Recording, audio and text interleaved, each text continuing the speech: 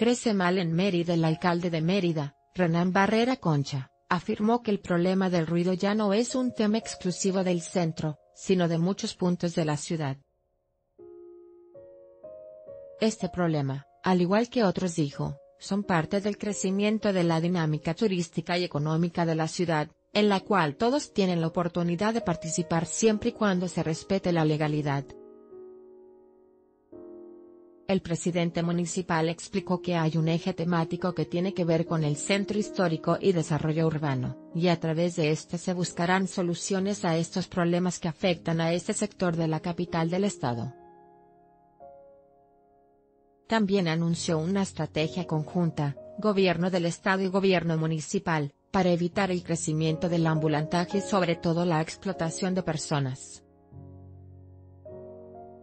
Oficina tenemos un reglamento que aplica a toda la ciudad, y estamos también por abrir la oficina de gestión del centro histórico, que se dedicará y atenderá a estos temas de manera directa, como el ruido y el ambulantaje. Lo que hoy tiene el centro, dijo, es una extrema dinámica económica, turística y social y eso ha generado que esa dinámica se salga de control en algunos temas que vamos a estar trabajando para poder evitar que sucedan, dijo Barrera Concha en una entrevista.